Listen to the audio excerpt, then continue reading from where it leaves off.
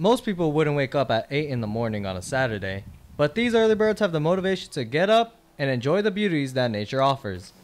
The Placerita Canyon Nature Center offers a bird walk the first two Saturdays of the month at 8 a.m.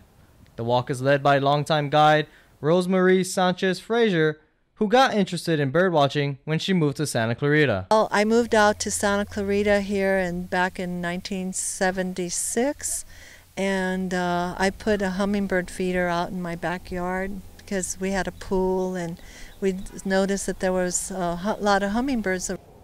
If 8 a.m. does not sound appealing to you to go for the bird walk, or if you missed the first two Saturdays of the month, don't worry, you can witness a hawk up close. Wheelie.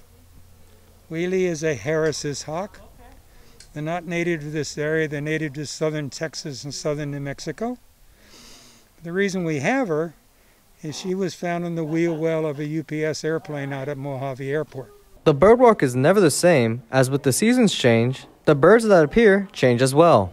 Uh, different times of year, we have different birds. Some of the birds here are real uh, full-time residents like the acorn woodpecker they're here all the time. Uh, the scrub jays the california scrub jays they're here pretty much all the time. Um, the you saw the little juncos uh, dark-eyed juncos those are migrating birds that only come certain time of the year.